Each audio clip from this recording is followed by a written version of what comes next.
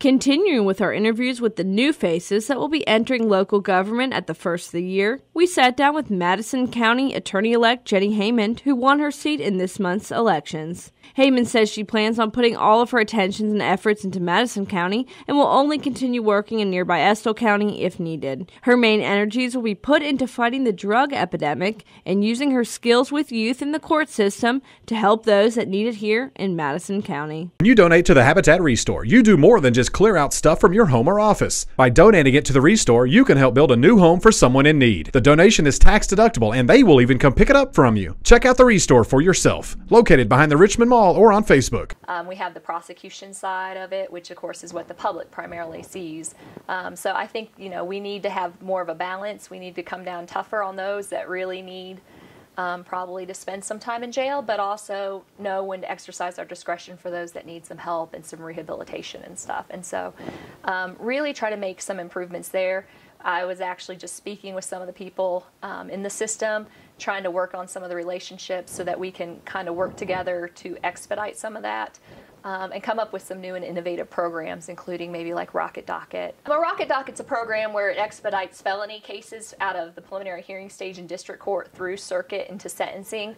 Um, it's something that I really I'm looking forward to sitting down with the Commonwealth Attorney's Office about and talking with them because you know I, we have a good relationship, so I'd really like to kind of help them out too in the same aspect because they're they're so overworked. I mean, they they have major cases, and the Rocket Docket's primarily set up for drug cases. And that's the thing. Whether they're charged with um, an assault charge or whether shoplifting charge or a straight drug charge, if you look back, almost all of them are drug related. I mean, I would say at least a solid 85 90% have a drug related background to it. No, it's important to me with really protecting kind of the next generation, um, so to speak, in Madison County, and not just as in the prosecution and dealing with dependency, neglect, and abuse cases, but really getting out there and working with them in the prevention aspect.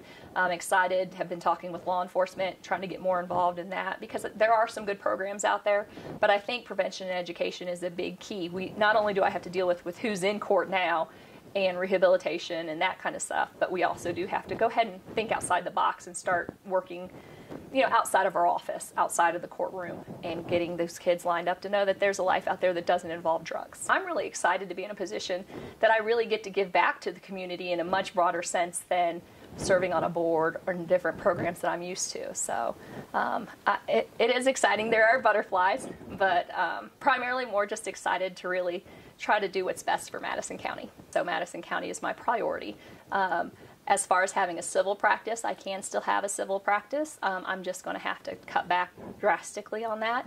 But I have a lot of good clientele that you know are completely understanding um, and that know that you know, Madison County is my priority, so the county attorney's office comes first. Well, I mean, I want to say thank you for you. You've been very, very kind to me, but also just thank you for the um, citizens for electing me. I know we worked really hard, and it's nice to know that people have entrusted me and had seen that with a lot of hard work that they trust me to do the same going forward. So. For more stories such as these, be sure to visit Richmond's very own WBONTV.com. I'm Marisa Hempel.